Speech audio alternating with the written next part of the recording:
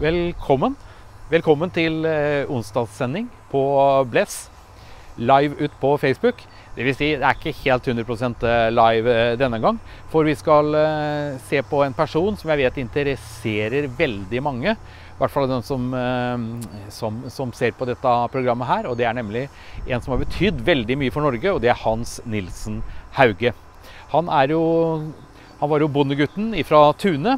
Og han kommer fra et sted da, som eh, barndomshjemmet hans er da i den retningen her, på andre siden av kirken her, som er eh, den eldste bygningen i Fredrikstad. Desidert den eldste. Den er fra 1182 eller noe sånt. Og i den eh, kirken her var det jo også da gammel allerede på Hans Nilsen Hauges tid. Bless, vår menighet, den ligger faktisk rett vestover her. Den ligger eh, ja, en eh, knapp kilometer, tenker jeg.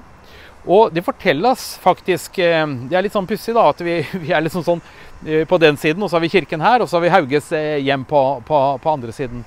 Men det pussige er at når de skulle bygge denne her, forteller da et gammelt sagn. Det var på den tida hvor man trodde på troll og, og ånder. Og da fortelles det at de hadde tenkt å bygge den kirken på den haugen som lå 2000 skritt i vestlig retning. Og når de skulle bygge da denne, denne kjerka i, i, vest her, så, så tillot ikke trolla, ifølge sagnet, at de gjorde det. For tre torsdager på torsdagsnetter på rad så rev trolla plankene og bar dem helt opp på denne haugen her.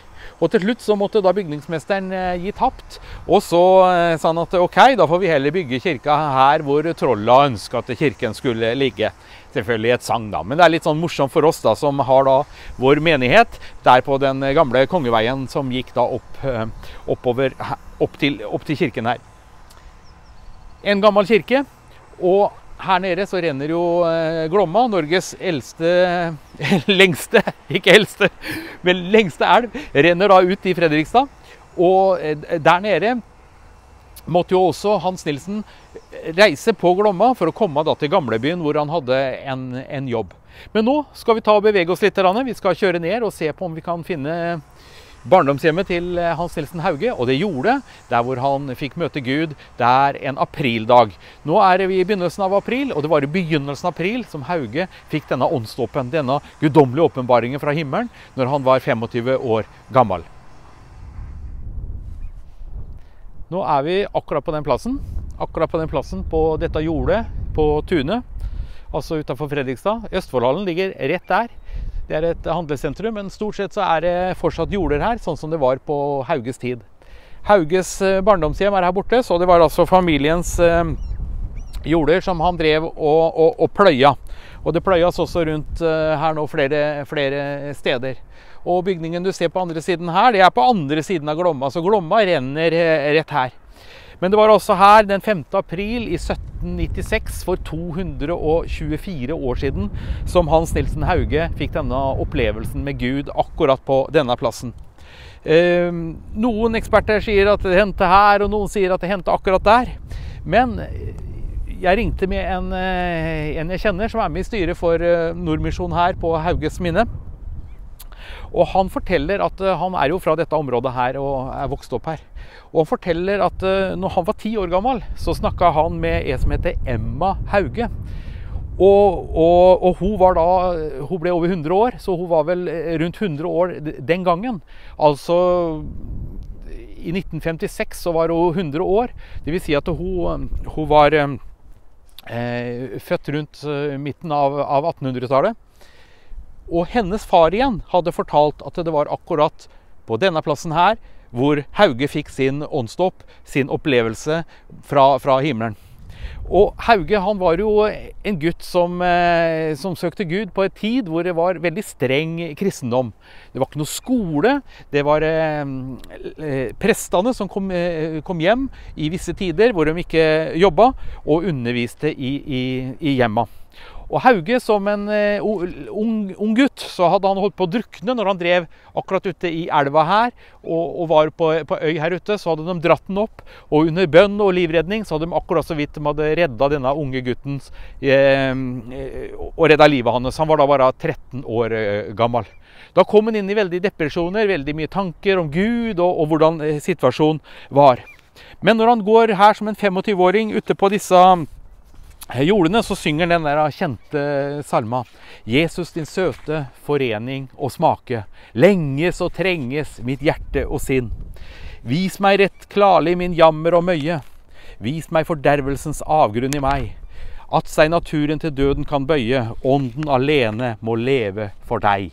Det var første verset. Men så fortsatte han, mens han da kom til denne, akkurat på denne flekken her av jordet, så synger han 'Styrk meg rett kraftig i sjelen der inne', at jeg må kjenne hva ånden formår. Ta meg til fange i tale og sinne, led meg og lokk meg, så svak som jeg går. Meg og hva mitt er, jeg gjerne vil miste. Når du alene i sjelen må bo, og seg omsider på døren må liste, hva som forstyrrer mitt hjerte og ro. Etter dette forteller Hauge det tok faktisk veldig mange år før han fortalte hva som hadde skjedd her. Men hele familien forsto jo at det var skjedd noe med denne gutten. Og han forteller her etter, en, eh, etter mange år så forteller han i en av sine bøker så skriver han følgende Hans Nilsen Hauge. En gang jeg arbeidet under åpen himmel, sang jeg salmen 'Jesus din søte forening og smake'. Da jeg hadde sunget annet vers, 'Meg og hva mitt er, jeg gjerne vil miste, når du alene i sjelen kan bo'. Så ble mitt sinn så oppløftet til Gud, sier Hauge, at jeg ikke sanset meg eller kan si hva som foregikk i min sjel, for jeg var utenfor meg selv. Nå syntes at intet i verden var noe å akte, og angret jeg på noe, så var det at jeg ikke hadde tjent eh, Gud mer enn alle ting. Min sjel følte noe overnaturlig, guddommelig og salig. Det var en herlighet som ingen tunge kan forklare, ingen kan ta fra meg dette, for fra denne stund var min ånd full av alt godt.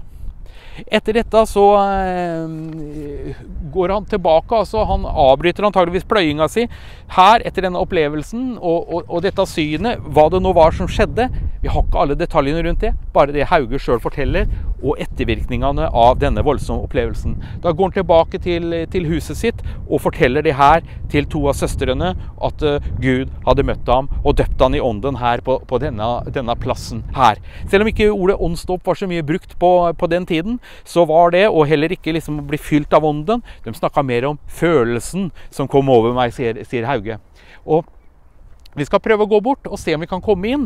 Det, neste år så er det 250-årsjubileet her for Hauges eh, fødsel.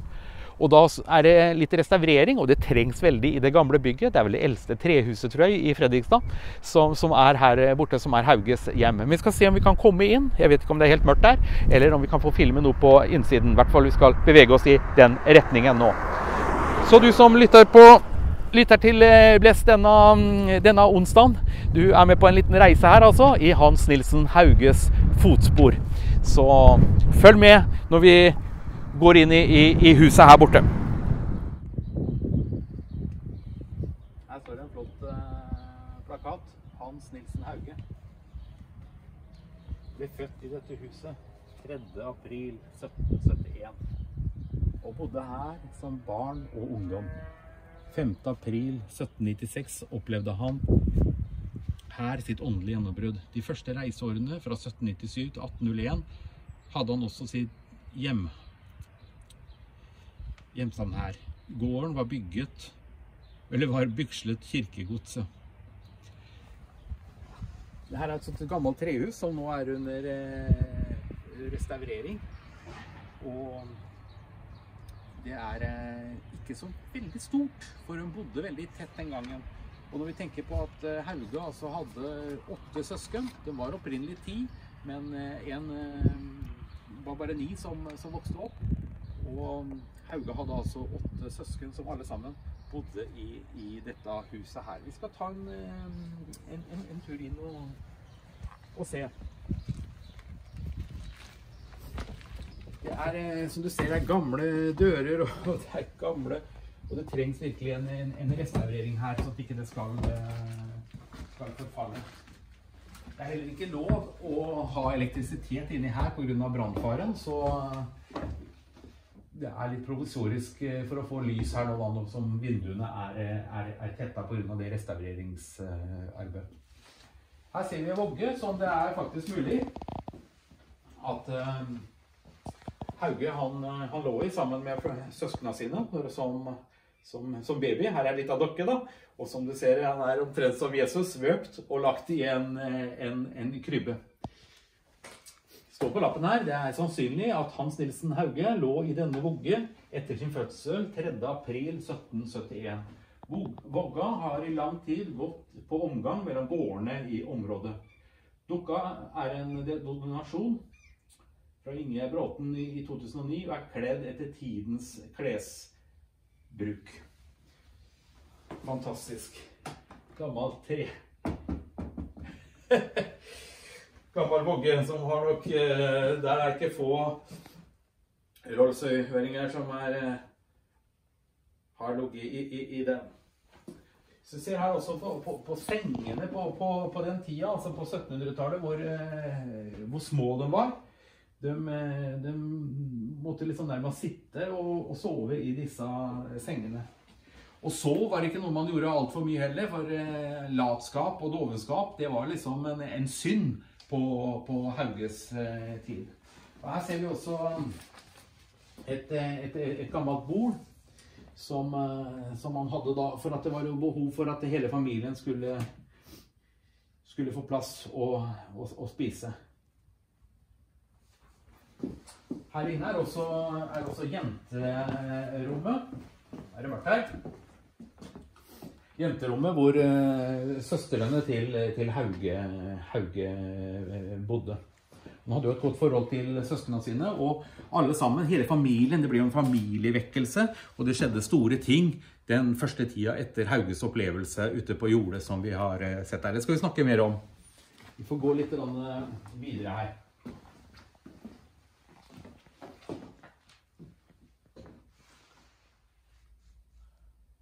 Her er vi inne på kjøkkenet til familien Hauge. Du ser gryta her hvor man da kunne koke mat, og det skulle kokes til, til, til mange, mange hardtarbeidende søsken som, som, bidro til at familien da kunne, kunne få det man trengte. Se, gamle kjøkkenredskaper og sånn er også hengt opp her. da. Det er ikke så mange besøkende på, på dette museet her. Det er veldig få som egentlig besøker denne plassen. Så veldig få i distriktet her. Men alle har hørt om Hans Nilsen Hauge. Alle har et forhold til denne bondegutten som fikk denne opplevelsen. Og det er selvfølgelig fordi at eh, han betydde så utrolig mye mer enn eh, for det åndelige. Han starta mange bedrifter, og han eh, påvirka Norge på en enorm, fantastisk måte. Vi skal rusle litt ut av kjøkkenet, og så skal du få lov til å komme opp og, og se på denne gutterommet der hvor eh, Hauge bodde.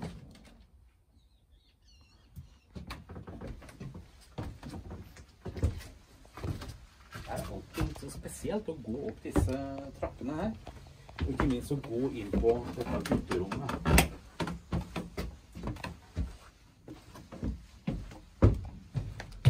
Her er altså så gammelt.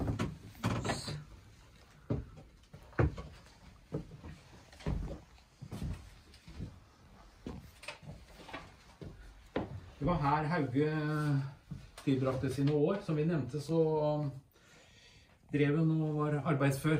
Og drev jobba allerede som 13-åring og holdt på å drukne og miste livet. Og um, den opplevelsen gjorde stor eh, inntrykk på han. Og han søkte Gud, men han følte han hadde ikke fått noe gjennombrudd. Men så kom altså denne aprildagen da i 1796. Og da skjedde det eh, voldsomme ting i livet hans. Og da går han opp faktisk inn i dette rommet her. Han går opp på rommet sitt. Og så treffer mora han ham, og så, så sier hun til ham Sover du i, i vårtiden, Hans Nilsen? sier hun til ham. Og han visste at det var synd å, å, å sove. Og, og dovenskap, det var, det var, en synd for Gud.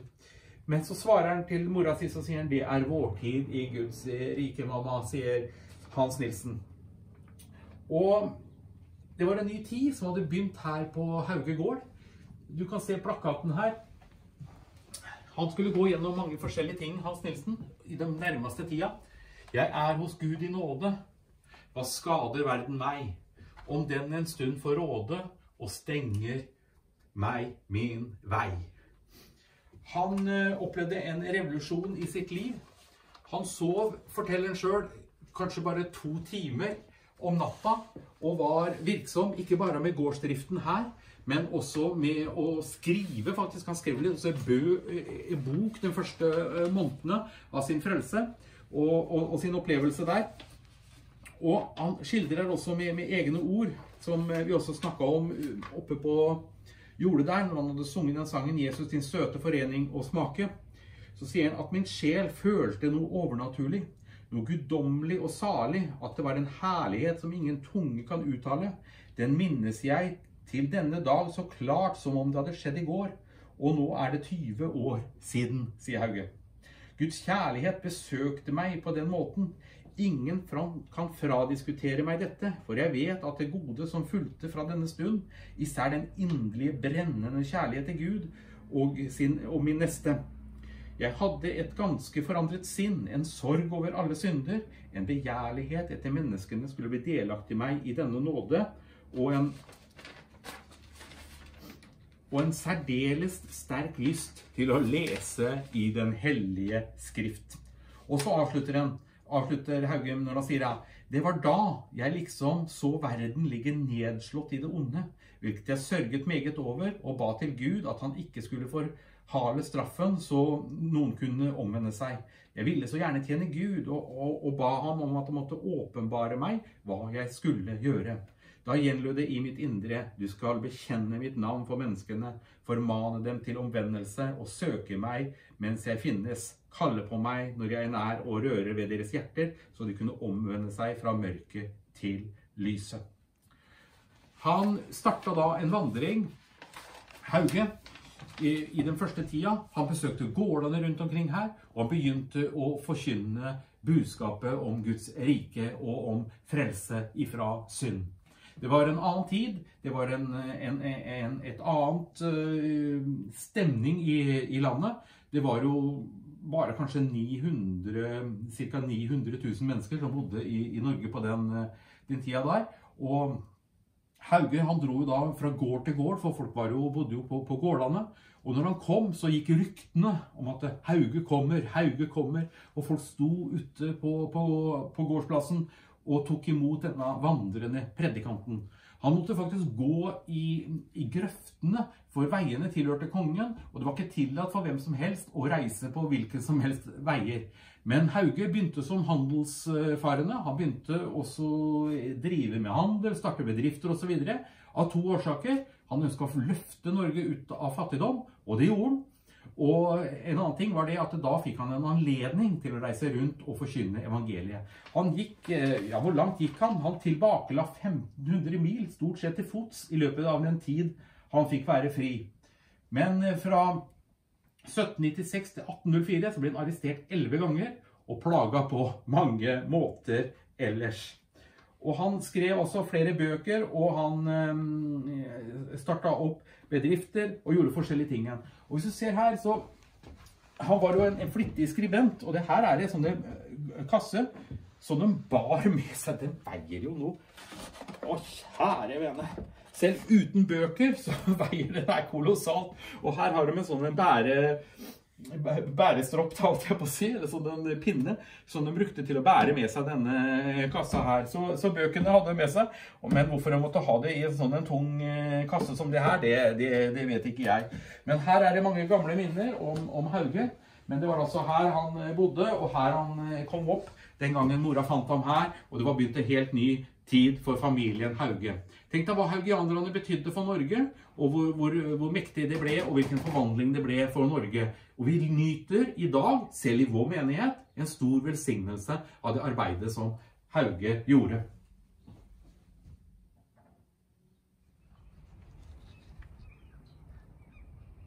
Da forlater vi dette huset her, men vi skal eh, bevege oss eh, litt, eh, litt videre. Du er med på onsdagssendinga på Bless her fortsatt. Og det er bare å dele, dele videoen hvis du føler at det her er noe som har interesse. Hvis du nå går ut på, på utsiden av, um, av barndomshjemmet til Hauge, og her står det en står en minneplakat. Veldig fine ord av, av Hauge med et eh, støtte her. Jeg har svoret Guds ånd lydighet, og han har hjulpet meg til å bli mitt forsett tro. 1771 til 1824. Han var jo ganske dårlig på, på slutten, preget av mange år i, i, fengsel. Men i ungdomstida si, når han var her, så dro han også oppover til Gårdane, oppover til Grålum. Han dro oppover eh, Rakkestad.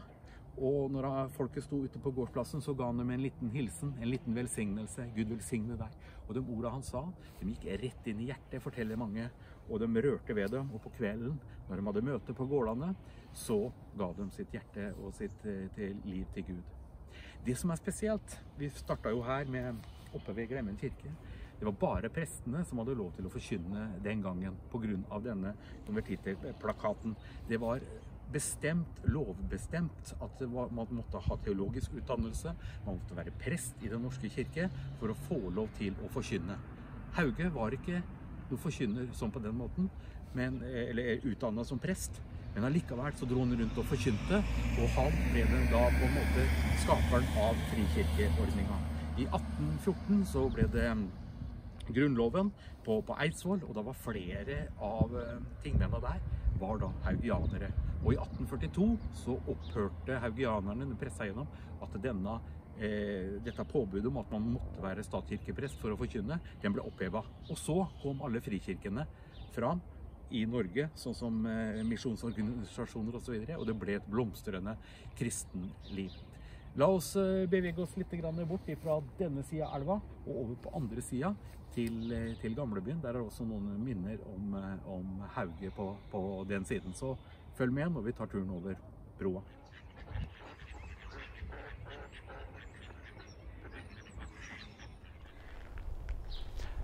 Hauge var jo fra, fra Rollsøy, fra det som man kalte Tune den gangen. Og for å komme hit til eh, gamlebyen, så måtte han eh, dra med båt nedover. Og det var ikke bare å komme hjem samme kvelden. Og han fikk seg jobb her, altså året før opplevelsen sin. Så står det her på dette nydelige, sjarmerende huset her, det rosa huset her, så står det Hans Nilsen Hauge arbeidet i dette huset året 1795 som slakter-Sven i Madame Cruses kjøttforretning. Madame Cruses kjøttforretning i, i, i, dette, var i dette huset her. Og da måtte han overnatte her for å, å, å, bo her mens han jobba, for det var ikke muligheter å ta seg helt opp til Rollsøy igjen da. Nå har vi bare brukt noen minutter med bil på den samme strekningen, men den gangen var det mye vanskeligere å reise. Og når vi tenker på hvor langt Hauge dro på, på sine tid eh, hvor han var virksom, så er det ganske utrolig å tenke på hva han klarte å utrette. Han gikk vel til og med helt til København, tror jeg. Og brukte selvfølgelig noe båt osv. Men det er mer å se på her i gamlebyen.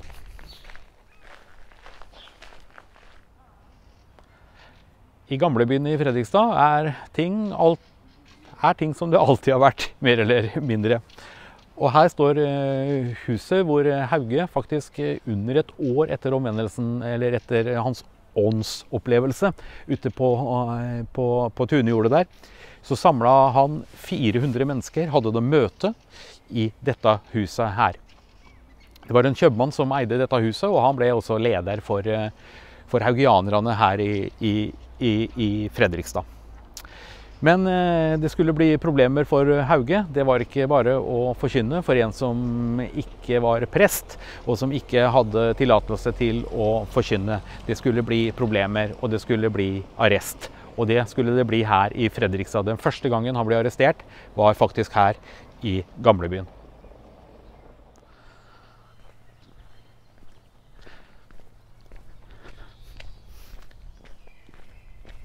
Det er alltid koselig å gå her i gamlebyen. Det her er jo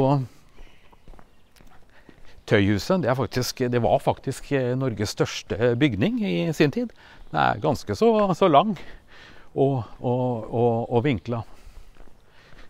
Så skal vi passere eh, kirken her, og så skal vi bortover mot eh, stedet hvor han ble, ble, ble fengsla.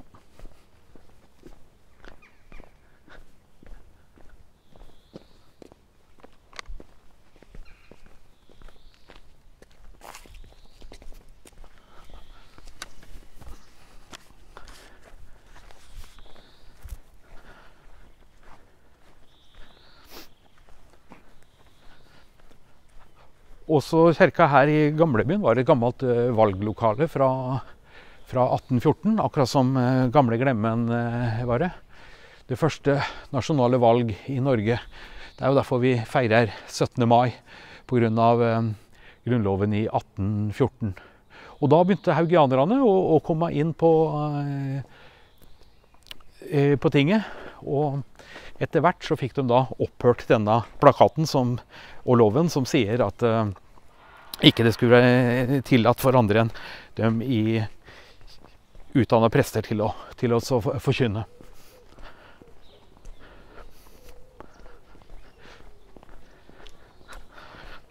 I tidene vi er i nå, så er det litt lite folk i gamlebyen, så det er ekstra trivelig å rusle bortover i, i gatene her. Her ser vi byens grunnlegger står der han alltid har stått.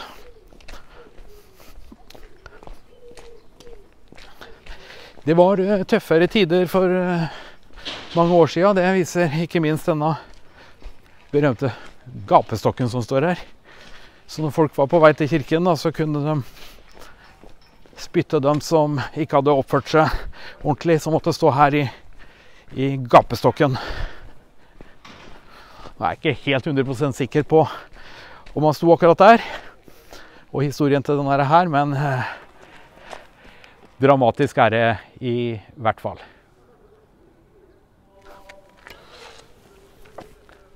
Også en veldig morsom bygning, det her. Hvor allting har med, med, med årets dager og ruter og årstider og så videre. Antall piper og antall vinduer og så videre.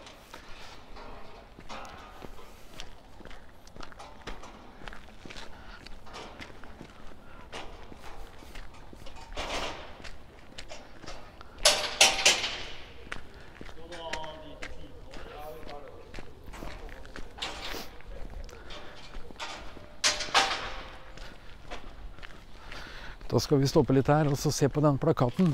Det her var nemlig rådhuset i gamle dager. Og her står det at uh, her satt Hans Nilsen Hauge fengsla i en måned fra 29.12.1997. 1797. 1797. Det er, uh, det er lenge siden. Det var altså midt på vinteren. Og det var en av de første arrestasjonene hans her i Fredrikstad, og der fikk han høre at eh, soldatenes grovheter og forbannelser nok skulle bringe Hauge på andre tanker. Men det skjedde ikke, for eh, Hauge forteller at eh, jeg kom i tale med soldatene, og noen av dem begynte å komme i tanker ved mine ord, slik at de gråt over sine synder. Andre derimot ble mektig vrede og truet med å plassere et trestykke i munnen min for å stoppe den, samt binde og slå meg. Jeg sa at noe slikt hadde jeg aldri sett noen bli behandlet. Da ble det heller ikke noe av, men de kastet meg i et hull kalt buret. Der sang jeg, og soldatene hørte på med bevegelse. Det er rene eh, Paulus og Silas i fangehølet, det, det greiene her. Det har nok ikke vært noe særlig å sitte, sitte fengsla inne i, i, denne bygningen her. Oppe i Hallingdal også havna også øh, Hauge i, i, i, fengsel. Vi skal rusle litt bortover her, jeg tror jeg. Han havna i, i fengsel oppe i, i Hallingdal. Og der bestemte de seg for at vi, vi sender inn eh, prostituert inn til en, for at det, de skulle ha det litt moro med, med, Hauge. da. Men du vet at han så bare rett i øya vet du, og, og, og sa et ord. Og dermed så begynte jo jenta å, å gråte og kom i, i syndenød. Men de hadde en, en, plan B, og det var De tenkte det at vet du hva, vi får tak i noen spellemenn, og så spiller vi opp til, til dans. Og så eh, lensmannsfrua hun skulle by Hauge opp til dans. da. Og så sier Hauge at eh, ja, skal nok danse, sier han, men eh, først så ønsker han også å synge sin yndlingssalme. Nå skal synden ei mer regjere, eller hvordan nå denne salma var. Og da vet du, begynte jo han som spilte fele, han begynte å gråte. Og, og folka ble bevega, og folk kom i syndenød. Og flere ga sitt liv til Herren der. Det ble et vekkelsesmøte istedenfor å bli en, et, et, vanlig fengselsopphold og en, en, moro som de prøvde å ha med Hauge. Han, hadde, han talte med en autoritet, han hadde en, en, myndighet i det han sa, og han hadde en salvelse fra Gud som gjorde at det mennesket ble forvandla bare ved å få en liten hilsen ifra Hauge.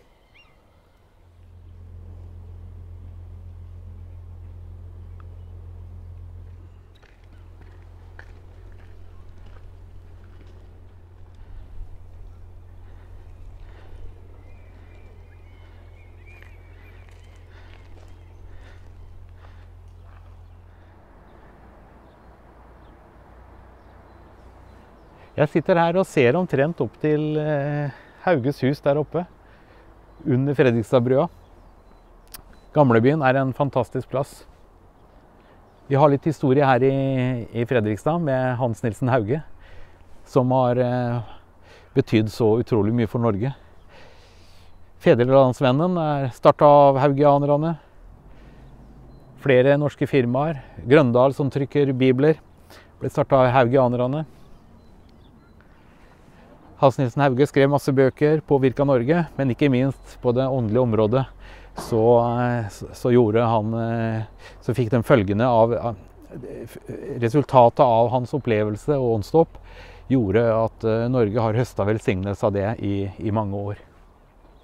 Eh, her har vært et litt annerledes program her fra, fra Bless. Håper du har likt det. Og du som bor i Fredrikstad her, du kjenner jo igjen plassene. For dere som er fra, fra andre steder, så håper jeg har fått litt av eh, inntrykk av den nydelige byen vår og de historiske minnemerkene kanskje som altfor få besøker. Så sier takk for eh, nå. Nå går vi snart inn i påska. Tor Ivar har noen eh, program på, på Bless sin Facebook-side. Og for påska, dag for dag, vi skal eh, fortsette med disse programmene litt eh, framover, nå som ikke vi har muligheter til å samles. Men vi bruker de eh, mulighetene vi har. Vi ser muligheter der hvor eh, det kanskje kan se vanskelig ut på oss. Vi prøver å ta med oss litt av Hauges stemning og ånd. At han, han virka til tross for vanskeligheter, til tross for forbud, så fant han nye veier å nå ut til, til, til, folket folkefå. Om han enn måtte gå gjennom skauer og gjennom eh, i grøftekanter, så nådde han allikevel ut. Sola går ned. Fredrikstad er ikke så aller verst.